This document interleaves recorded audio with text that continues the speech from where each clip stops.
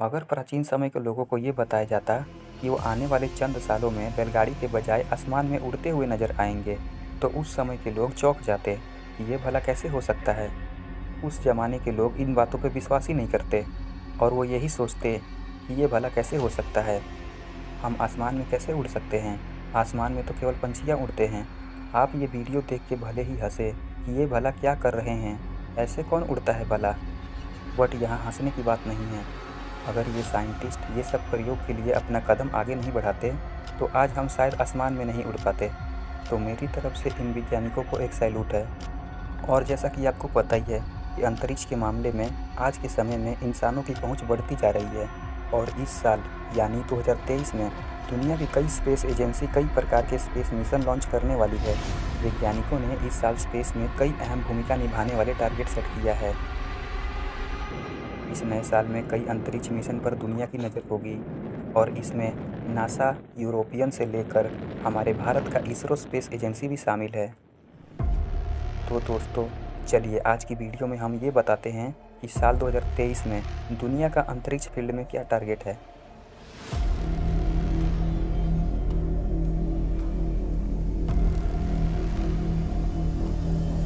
तो दोस्तों, अगर आप इस चैनल पर पहली बार आए हैं तो वीडियो को लाइक और चैनल को सब्सक्राइब करना ना भूलें, ताकि ऐसे ही अंतरिक्ष वाली रहस्यमय वीडियो आप सबसे पहले देख पाएँ। तो चलिए वीडियो करते हैं शुरू।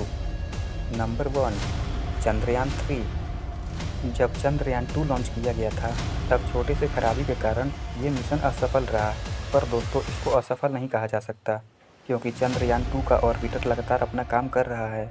पर इसके लैंडर में थोड़ी सी तकनीकी खराबी आ गई थी, जिसकी वजह से जब ये चाँद पे लैंड हुआ, तब ये लैंडिंग सपाट नहीं हुई थी, और इस बार चंद्रयान थ्री में उन गलतियों की सारी भरपाई हो जाएगी।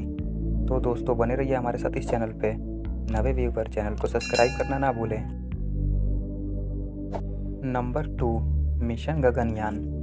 अब दूसरे स्पेस एजेंसियों के बजाय इसरो भी स्पेस में इंसानों को भेजने की तैयारी कर रहा है। इसरो ने इस मिशन का नाम दिया है गगनयान। इस साल 2023 में फरवरी के महीने में इसरो गगनयान मिशन के लिए टेस्ट फ़्लाइट की शुरुआत करेगा। स्पेस एजेंसी का ये कहना है कि मिशन के क्रू मॉडल यू के परीक्षण के लिए चिनूक हेलीकॉप्टर और सी सतारा ग्लोब मास्टर के इस्तेमाल की योजना बनाई जा रही है। गगनयान मिशन के तहत मेड्यूल को अंतरिक्ष यात्रियों को ऑर्बिट में भेजने के लिए डिज़ाइन किया गया है। साल 2018 में गगनयान मिशन को ऐलान किया गया था, जिसके तहत साल 2022 में इसको लॉन्च करना था। लेकिन आप तो जानते ही हैं कि कोरोना के चलते कई ऐसे मिशन, कई ऐसे टारगेट को रद्द कर दिया गया। इसमें वैज्ञानिकों की काफ़ी ज़्यादा बजट लगी थी। और अब इंसानों को स्पेस में भेजने के लिए इसरो का मिशन साल 2024 के अंत या फिर 2025 के शुरुआत में लॉन्च किया जा सकता है। और आपको पता है, इस मिशन के ज़रिए तीन अंतरिक्ष यात्रियों को अंतरिक्ष में ले जाना है। और आप नहीं जानते हैं तो ये जान जाइए कि इसरो ने इस बार चार उम्मीदवारों को स्पेस में भेजने के लिए चुना है। और आपको पता है, भारत की साइंटिस्टों की ट्रेनिंग किस स्पेस में हुई है। आज के समय में इसरो भी किसी दूसरे स्पेस एजेंसी के मुकाबले कम नहीं है। और जो गगनयान में एस्ट्रोनॉट जाने वाले हैं, उनकी ट्रेनिंग रूस में हुई है।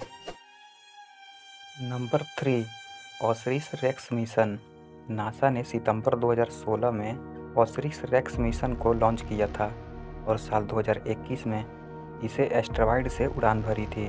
ये अंतरिक्ष यान एस्ट्रॉइड के नमूने ले आ रहा है, यानी कि जब इसे भेजा गया था धरती से, तब इसका यही मकसद था कि ये एस्ट्रॉइड पर स्टडी करे।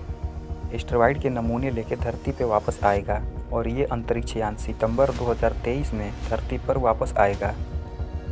नासा के मुताबिक पेरन्यू जैसे एस्ट्रॉइड हमारे सोलर सिस्टम के शुरुआती इतिहास के लिए टाइम कैप्सूल का काम कर सकते हैं। उनका कहना यह है कि एस्ट्रॉइड पर जीवन के निर्माण के सैंपल भी हो सकते हैं।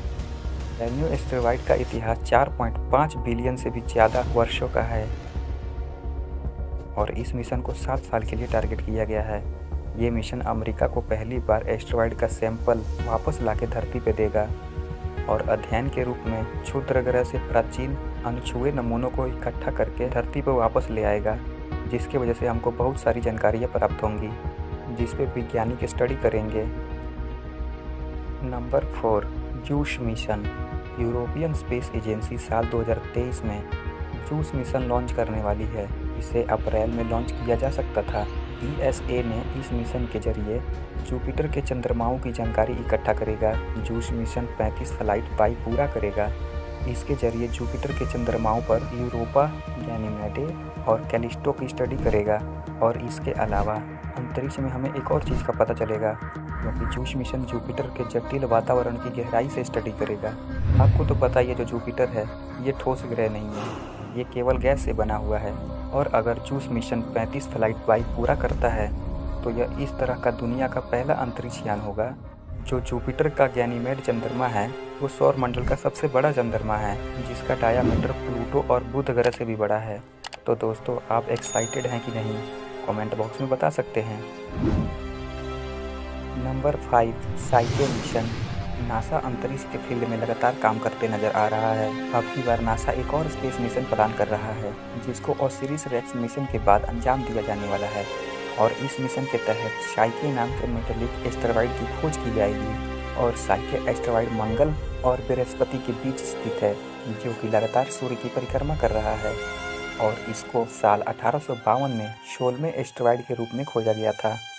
और जिन्होंने इसे खोजा था वो खगोल शास्त्री एनिवेल डी गैसपारिस थे और नासा अंतरिक्ष फ़ील्ड में इतने पैसे आखिर खर्च क्यों करेगा?